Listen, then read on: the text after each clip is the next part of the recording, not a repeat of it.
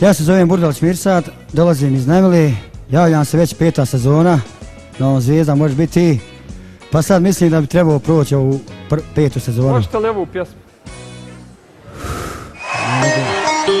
To je to. Jo! A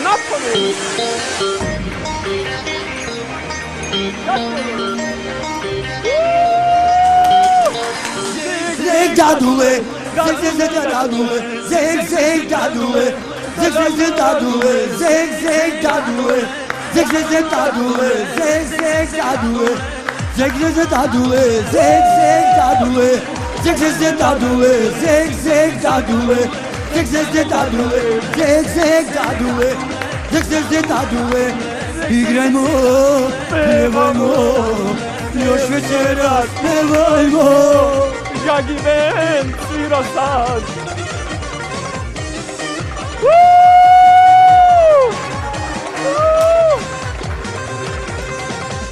Igrajmo, pjevajmo, još večera igrajmo, pjevajmo, pjevajmo.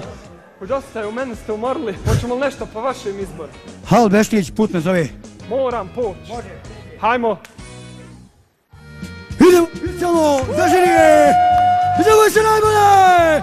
Ide Nišćane! Put, put me zove.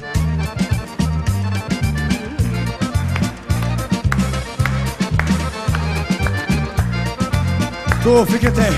Po legendu, gdje su legendu?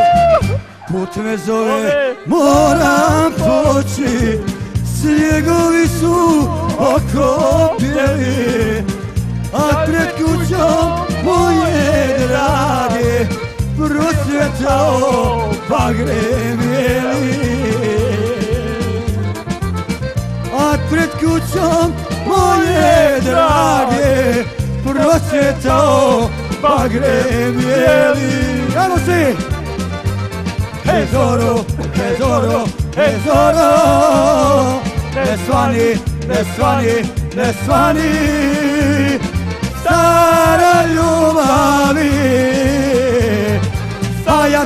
tom ostane.